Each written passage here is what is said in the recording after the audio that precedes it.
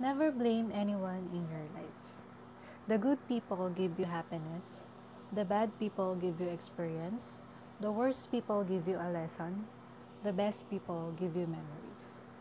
Ito pong topic na ito ay nakuha ko sa website ng www.higherperspectives.com and I hope na makatulong or maka-inspire sa inyo. So, keep on listening and don't forget to subscribe and click the notification for more topic like this. Never blame anyone in your life. Here is the five simple ways to deal with manipulative people. Manipulation is defined as a type of social influence that aims to change the behavior or perception of others through abusive, deceptive, or underhanded tactics. Ibig sabihin, once na nabagong attitude or decision mo sa buhay or everyday task ng dahil sa ibang tao sa pamamagitan ng pag-abuso or panloloko na against sa damdamin mo, doon na papasok ang manipulation. It is important to know the difference between healthy social influence and manipulation. When we say healthy social influence, it occurs between most people and is part of the give and take in healthy relationships. I-quote ko po ulit.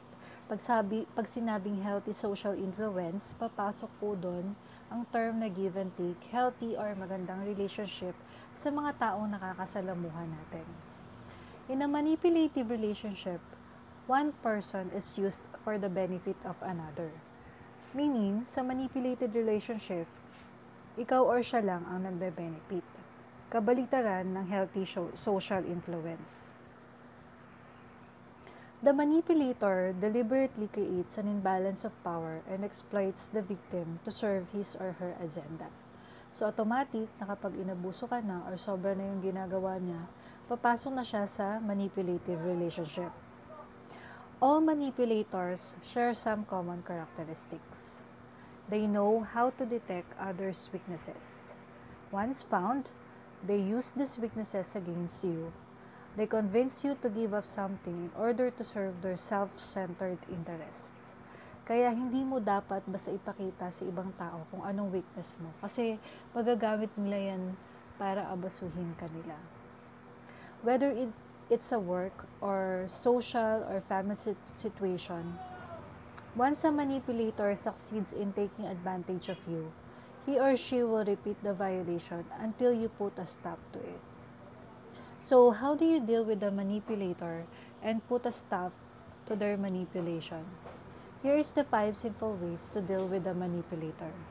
Number one, know your self worth. Knowing your self-worth and standing up for yourself are two important keys in dealing with a manipulator. The more you allow someone to drag you down, the more your self-worth will suffer. To protect your self-worth, remember your basic human rights. The right to be treated with respect, the right to express your feelings and opinions, the right to say no without feeling guilty, the right to protect yourself from being physically, emotionally, and mentally harmed, and the right to live a happy, healthy life.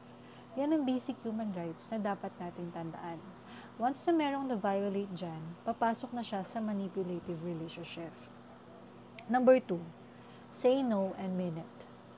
Say no when the manipulator is trying to get you to do what you don't want to do. And mean it.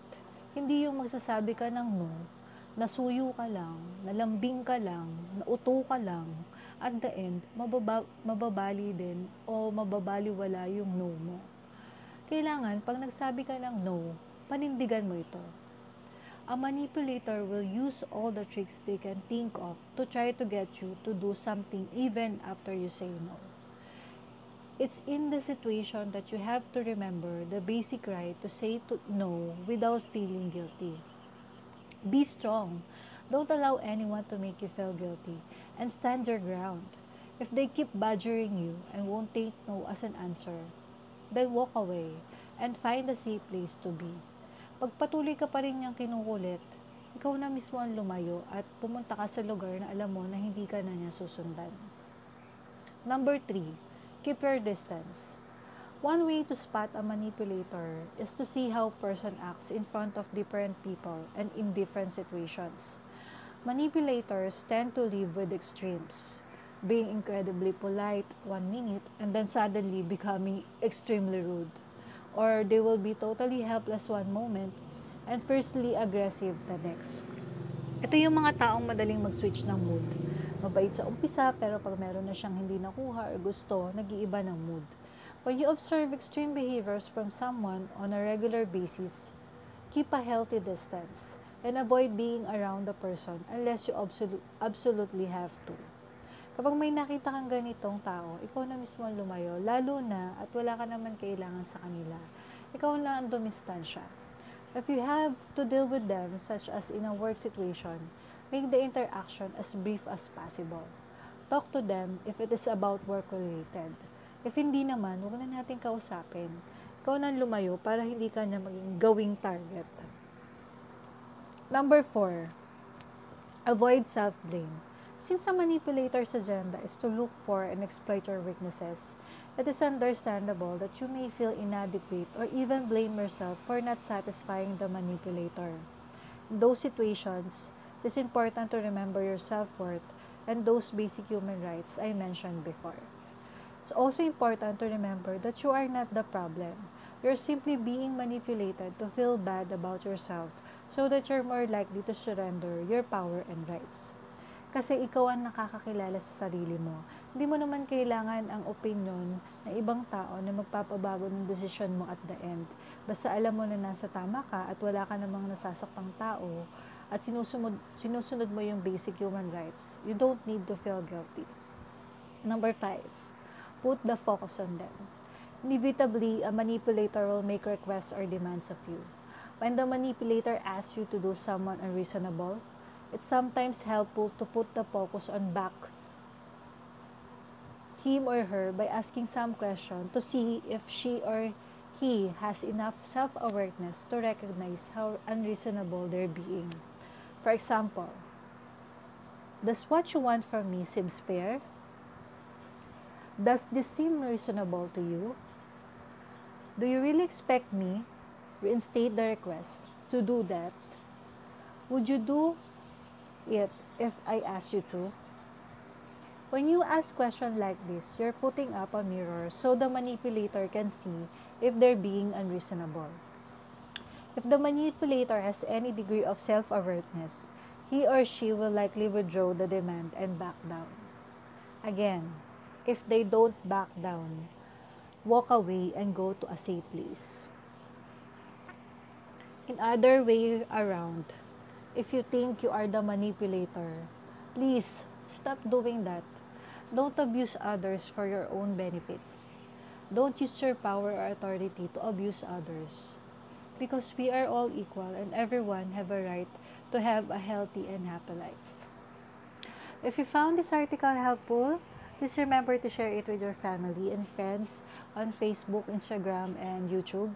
Again, this topic, I got this from www.higherperspectives.com for us to be aware and never blame anyone in our life.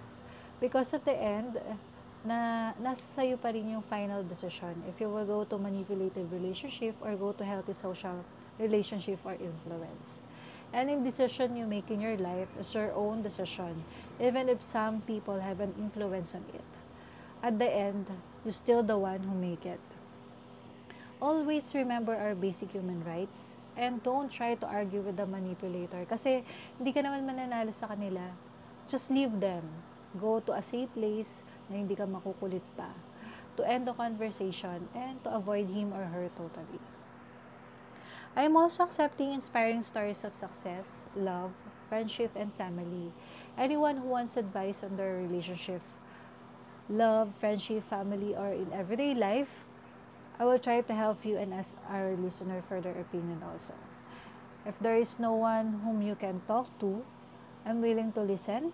Feel free to comment and I will give you my email so you can send your stories. Thank you. Please don't forget to subscribe and hit the like button. I hope you enjoy our topic. See you again. Bye-bye!